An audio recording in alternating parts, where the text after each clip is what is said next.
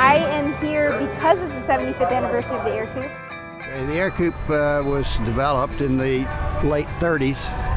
And of course, it's the 75th anniversary. 1940 was the year they were certified. And they're just really fun. Um, they're easy to fly. There's no rudder pedals in this one. It's all coordinated. You, you drive it on the ground, you know, with the steering wheel because it's all connected to the nose wheel.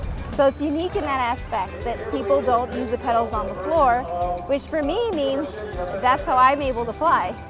I'm the first armless pilot certified to fly with just my feet, no modifications. It's just a neat little plane. You can fly it with the windows open, uh, the windows down on the side. It kind of gives you that open cockpit feel. You know, it's economical, uh, burn less than five gallons per hour normally. But the normal cruise speed is around 100 knots for most all of them.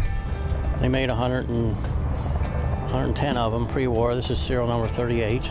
As far as I know, this is the earliest one flying.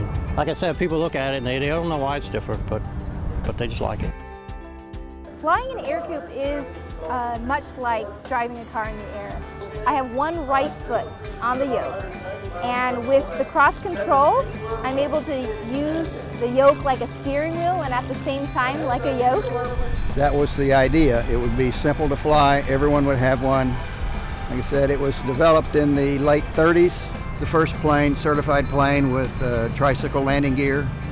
It was way ahead of its time. More and the more research you do about it, you know, the history of it, the, the designer, Fred Weick, he is accredited with being, you know, like the father of the enclosed cowling and the modern nose wheel. And this airplane was, was him. I wanted to become a pilot to number one, face my fear, and number two, the adventure of doing something new.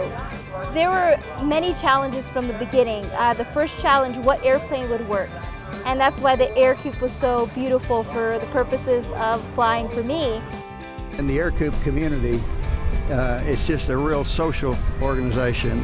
You get to know people from all over, and, and it's uh, sort of like a family reunion every year when we, when we come back. I will be doing book signings all throughout the week at the Ford tent, and I will be showing my movie called Right Footed. And it seemed very uh, appropriate to launch and premiere the movie Right Footed alongside the 75th anniversary of the Ercoupe. AirVenture is all things aviation, so it's just a fun place to come and an annual gathering. Like it's just, we're glad to be here.